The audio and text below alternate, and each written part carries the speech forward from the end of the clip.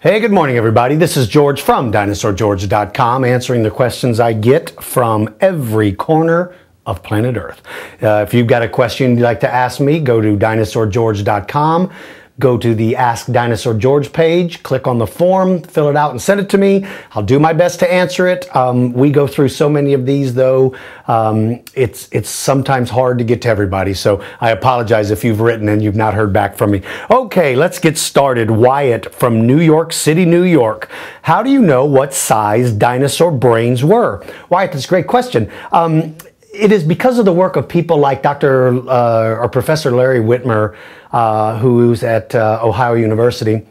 They actually take the brain case, that is the place where the brain used to be in the dinosaur, and they run it through a machine called a CAT scan. And the CT scanner can look through the rock into the space where the brain used to be.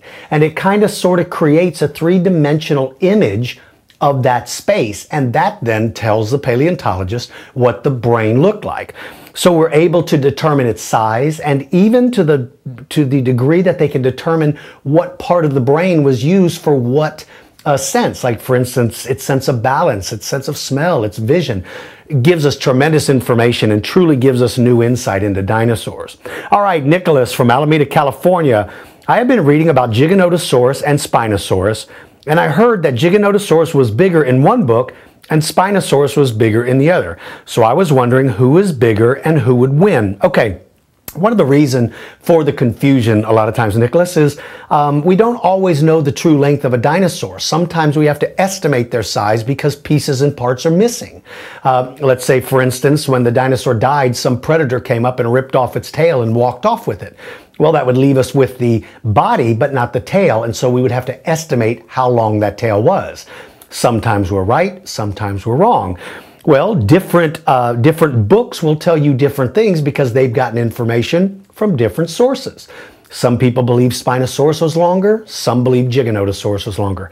But until complete skeletons of these dinosaurs are found, we don't truly know how large they are. And more importantly, even if we found a complete skeleton, that doesn't necessarily mean we found the biggest uh, of its family. Uh, he says, P.S. I love your videos you do on YouTube. Well, I'm glad to hear that.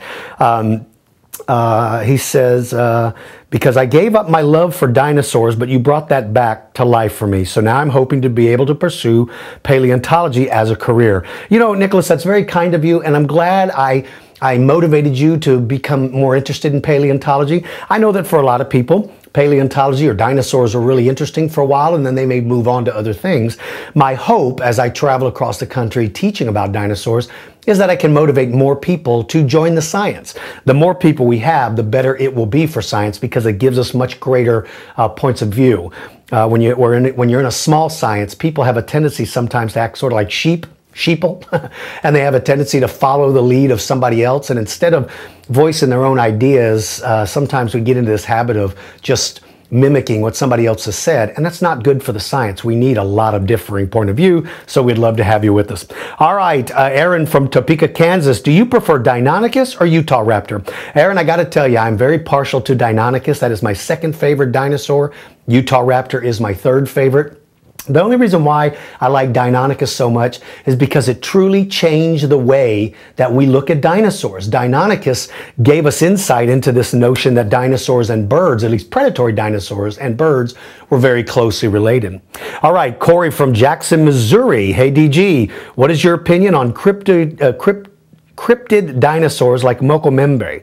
Thank you for your time. You know, Cory, um, it's it's difficult to know whether there are living dinosaurs as we think of dinosaurs uh, cruising around out there. It's not impossible. Don't get me wrong. I, I don't want to um, I don't want to say that I'm such a genius that I can tell you without any doubt what is and is not possible. That drives me nuts when you hear people, especially in paleontology, when they make these definitive statements as if they are the only source of knowledge on the planet, and then they kind of dismiss what you have to say.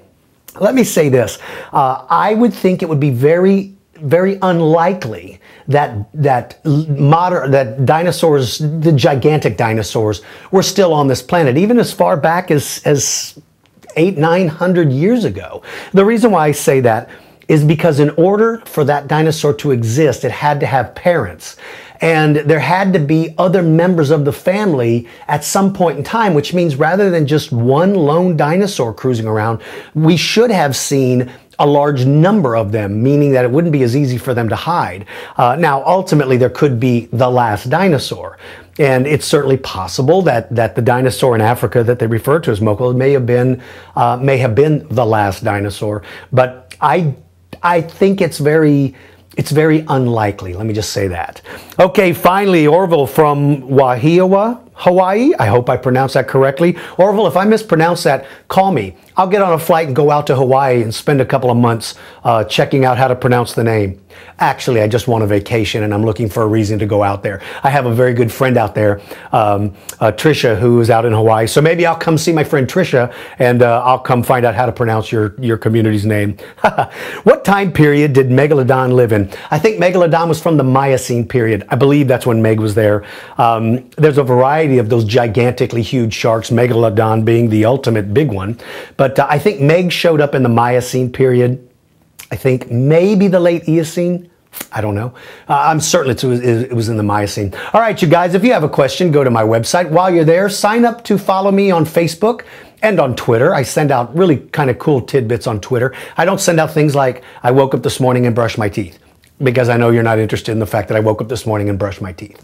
Um, and I do the same on Facebook. I, I publish some cool stuff. So join those two. And um, uh, while you're there, check out the site. There's some neat stuff. Until next time, you guys, for you young folks out there, make sure to practice your reading. I want you to be good readers. And for everybody else out there, always use good manners and treat everybody the way you would like to be treated. Until next time, this is Dinosaur George, and I am out of here.